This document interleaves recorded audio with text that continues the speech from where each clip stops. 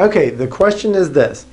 What is the difference between when I pop my neck or back versus the chiropractor popping my neck or back? So first of all, the chiropractor doesn't pop your neck or back.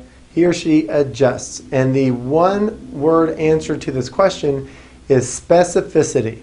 So one of the big, big skills that chiropractors are trained with is the art of palpation and, and feeling how a joint is fixated or or sitting in an improper biomechanical position and how to help that, spe- that specific joint to move back into its proper position and help the muscles, tendons, and the nerves to function to that area to help keep it functioning that way.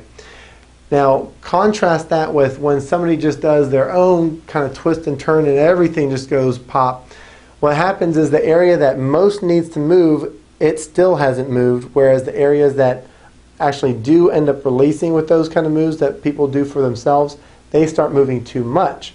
And this will de- deliver a hypermobility or an instability, and these are things that can help to promote things like spinal arthritis.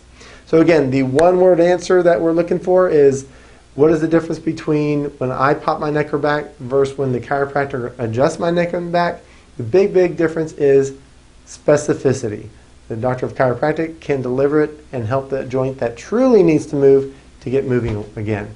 Hope that answers your question, and we'll see you on the next video. Take care.